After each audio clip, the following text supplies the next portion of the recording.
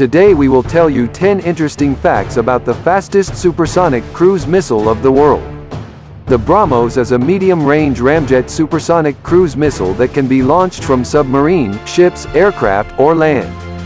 The BrahMos has been developed as a joint venture between India and Russia under BrahMos Aerospace.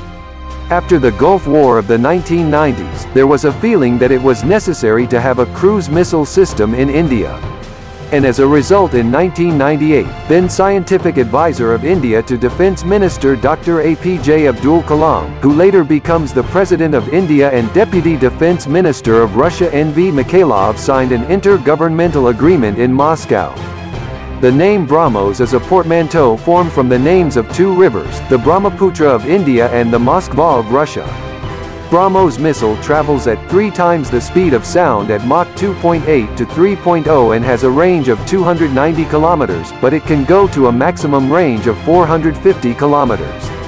If you are wondering what this speed of Mach 2.8 is, let me tell you, the speed of Mach 1 is equivalent to speed of sound in air which is 1234.8 kilometers per hour, so Mach 2.8 would be approximately 3457 kilometers per hour. Because of its high speed of Mach 2.8, the BrahMos is extremely difficult to be intercepted by surface-to-air missiles defense system on land or leading warships around the world and its precision makes it lethal to water targets. BrahMos has two-stage engines, first is solid fuel rocket booster and second is liquid-fueled ramjet engine.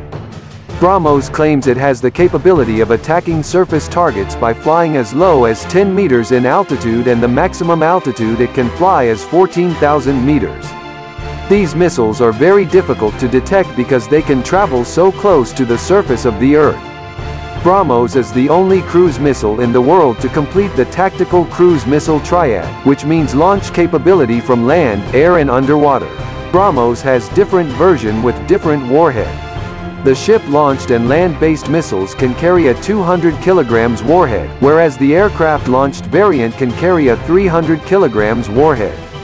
The BrahMos has currently been configured for aerial deployment with the Sukhoi Su-30 MKI as its carrier. After India became a full member of the Missile Technology Control Regime or MTCR in 2016, certain technical restrictions were lifted from India. So now India and Russia are now planning to jointly develop a new generation of BrahMos missiles with 600 km plus range and an ability to hit protected targets with pinpoint accuracy. In 2019, India upgraded the missile with a new range of 500 kilometers.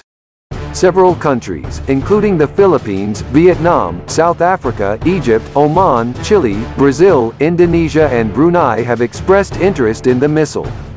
Malaysia is also reported to be considering the purchase of the missile for use on its Kedah-class warships and fighter jets. On the 8th of October 2019, the Philippines was announced to be the first export customer of the BrahMos missile system.